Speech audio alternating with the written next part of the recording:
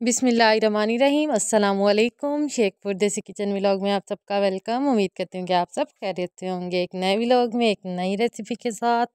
और बहुत ही मज़ेदार आज हम बनाने जा रहे हैं शलजम की सब्ज़ी, जो कि बहुत ही मज़ेदार बनती है। अगर आपके बच्चे शलजम नहीं खाते तो ये स्पेशल रेसिपी आप लोगों के लिए है। तो सबसे पहले हमने एक किलो शलजम लिए हैं। उनको अच्छी तरह से उनका छिलका उतार लिया। छिलका उतारने के बाद हमने उनको ब्रेक काट लिया। तो यहाँ पे हमने तीन से चार अदद सब्ज़ लहसन लिया और उसको हमने ब्रिक काट लिया। ये आपको किसी भी मार्केट से मिल जाएगा। सर्दियों के मौसम में ये हर जगह से मिल जाता है। तो यहाँ पे हमने एक अदद प्याज लिया, उसको काट लिया, दो अदद टमाटर लिए हैं, तीन से चार सब्ज़ मिर्चें लिए उनको भी काट लिया। अब हमने एक बर्तन लिया, उसमें हमने दो बड़े चम्मच घी के डाल दिया और उसमें हमने जो प्याज काटा था, वो उसमें शामिल कर दिया। प्याज को हम लाइट ब्राउन कर लेंगे, फिर उसमें हमने जो सब्ज़ लहसुन लिया था, वो इसमें शामिल कर देंगे। सब्ज़ लहसुन हमने इसमें इसलिए डाला कि इससे इसका टेस्ट और भी अच्छा हो जाएगा और ये खाने में भी बहुत मज़ेदार लगता है। तो माशाल्लाह से यहाँ पे अब हमने इसमें सब्ज़ लहसुन शामिल कर दिया है। चम्मच की मदद से हम इसको अच्छी तरह से मिक्स करेंगे। तो अगर अभी तक आपने मेरे चैनल को सब्सक्राइब नहीं किया तो please like, share and subscribe my channel.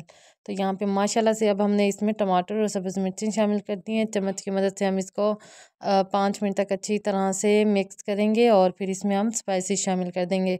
तो स्पाइसीज़ की क्वांटिटी अपने टेस्ट के मुताबिक आप कम या ज़्यादा कर सकते हैं। माशाल्लाह से यहाँ पे हमने एक चम्मच नमक का डाला है, एक चम्मच इसमें पीसा हुआ धनिया और एक चम्मच इसमें हल्दी और एक चम्मच इसमें हमने लाल मिर्च पाउडर डाला है। तो चम्मच की मदद से हम इसको अच्छी तरह से मिक्स करेंगे। दो से तीन मिनट तक हम यहाँ पे इसको अच्छी तरह से पका लेंगे और उसके बाद हम इसमें आधा कप पानी का शामिल कर देंगे, जिससे इसका मसाला अच्छी तरह से गल जाएगा। तो यहाँ पे हमने इसमें पानी शामिल कर दिया, चम्मच की मदद से अच्छी तरह से मिक्स करेंगे और उसके बाद हम इसको ढक देंगे। यहाँ पे पाँच मिनट गुजर चुके हैं और देख सकते हैं कि इसका मसाला अच्छी तरह से गल चुका है। तो अब हम इसमें जो हमने शलजम काटी थी वो इसमें शामिल कर देंगे और बहुत ही मज़ेदार बनेगा ये सालन। तो आपने भी इस रेसिपी को ज़रूर ट्राई करना है और कमेंट में भी ज़रूर बताना है। तो यहाँ पर हमने इसमें शलजम जो काटी थी वो इसमें शामिल कर दिए हैं।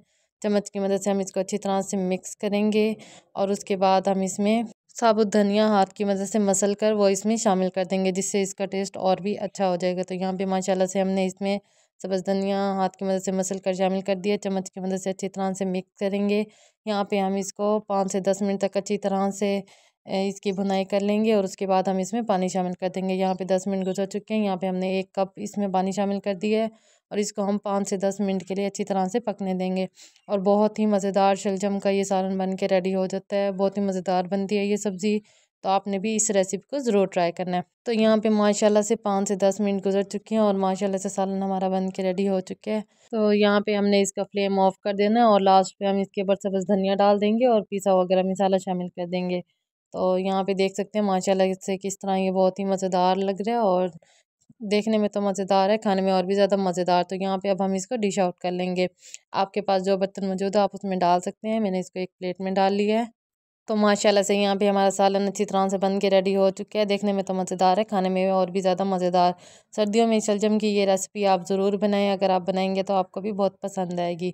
तो अगर आप लोगों ने मेरी वीडियो फुल वॉच की है तो आप सबका बहुत बहुत शुक्रिया। कल मिलेंगे एक नए व्लॉग में, एक नई रेसिपी के साथ। आप लोगों को मेरी वीडियो पसंद आती है तो एक प्यारा सा कमेंट भी ज़रूर कर दिया करें, जिससे हमें मोटिवेशन मिलती है ताकि हम आप लोगों के लिए और अच्छी और मज़ीद नई वीडियो बना सकें।